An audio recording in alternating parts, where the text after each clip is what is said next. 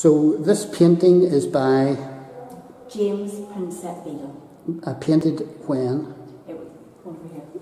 It was painted in 19. It was pre, uh, presented in 1919. 1919. To take a wee thing of that, Right. I think it must have been painted in 1918 because the war artists would have gone to war with the soldiers. That's right. Then they would have done the faces and all, and done the sketches, and then when they went back, have done painting. I'm amazed that you, you can actually uh, put a name to each of these guys here. Just the one. Or just the Just one? the one. Right. His family all come over to get their photographs taken beside him. Mhm. You know, because My goodness.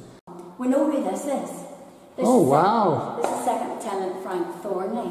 He was still a teenager, one of the very few to have survived. He was wounded, but he did survive.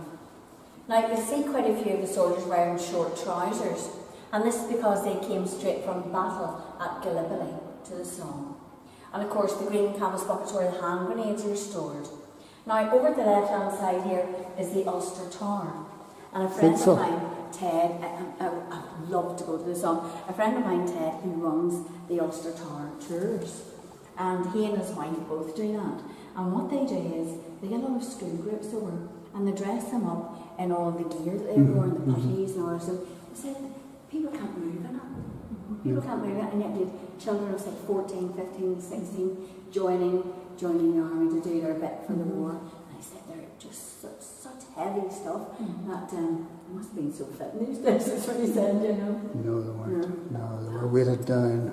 A way of time, of course. Oh dear, it was desperate. He said they, uh, but they can't, they can't even, the kids these days, you know, we're talking about 17, Oh yes, 18 yes, yes, yes. They can't even move Mhm. in their in the gear that they're wearing. Mhm. But it's absolutely fascinating. And uh, thank you to uh, Cindy, isn't it? Cindy. To Cindy for explaining the uh, First World War Somme painting here. Thank you.